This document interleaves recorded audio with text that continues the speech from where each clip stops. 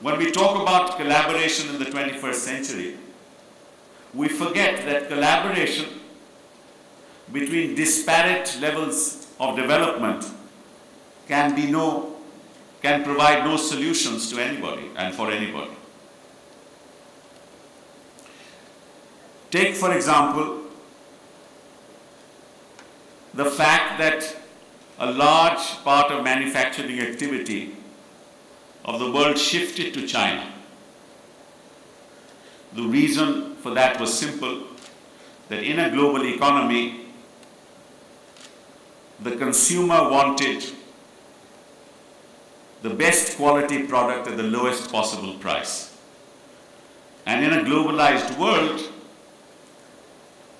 enterprises realize that they will have to access workforce which will provide leverage for the production of goods at the lowest possible prices, but goods of great quality. And so multinationals and great enterprises moved into China to, prove, to produce and manufacture the products, products that the developed world needed and satisfy the needs of the consumer. This is the impact of globalization. A similar pattern emerged in the service sector. You would, surprise, you would be surprised to know that India as an economy is largely a service economy despite the fact that more than 60% of our people live in the rural areas. 54% of our GDP is provided by the service sector, whereas a very small percentage of our population which produces those services are living in the urban areas and a large section of, the, of our community lives in the rural areas who do not contribute to the GDP at all. The reason why that happened was that in a globalized world, enterprises realize that you will have to access human resource wherever it's available. Relatively less costly human resource. Leverage that human resource to provide a service which is of quality but which is relatively less expensive so that the consumer can be satisfied. So the situs of manufacturing shifted to China and the situs of services shifted to India and several other relatively service-oriented economies. And I dare say that the proposition that I want to lay before you is that this is what is going to happen in the knowledge sector. What happened in manufacturing, what happened in services is going to happen in the knowledge sector. Creativity will be the bedrock from which solutions will emerge, but those solutions will come where the human resource is located, not where the human resource is not located.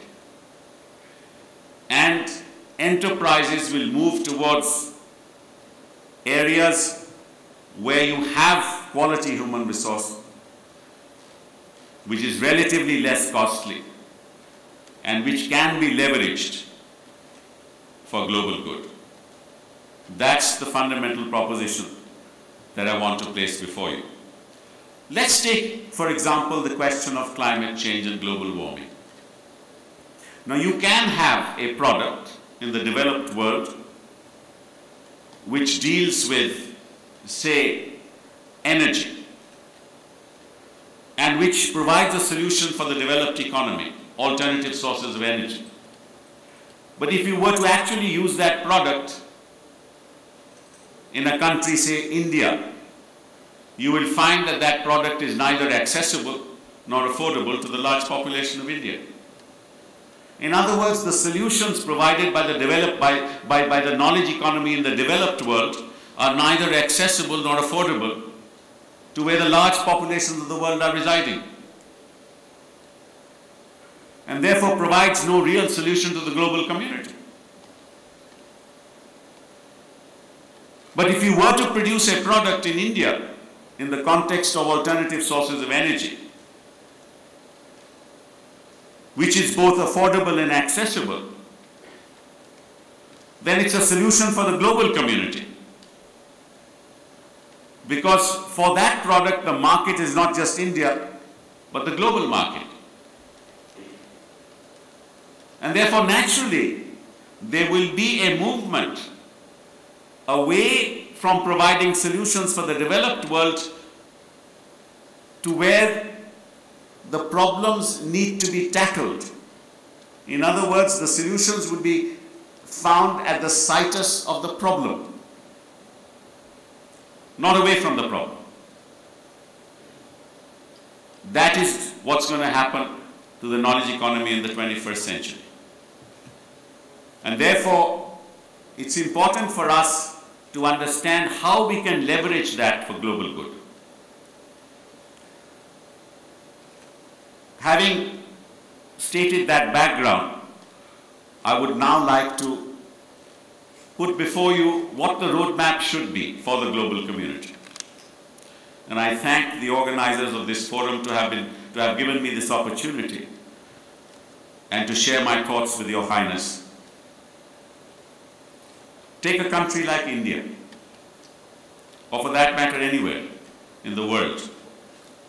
The real creativity and wealth, as Your Highness mentioned, and if you look at the balance sheet of any company today or any enterprise today, you will realize that the real wealth of enterprises are no longer the acquisition of physical assets. It's no longer the acquisition of tangible assets, assets that you can touch, assets that you can feel, your bank balances. On the contrary, real wealth of an enterprise today is determined by the acquisition of intangible assets. And so you ask yourself a question when you're looking at the balance sheet of an enterprise, how many patents does this enterprise have? What is the future potential of patterns, of creativity.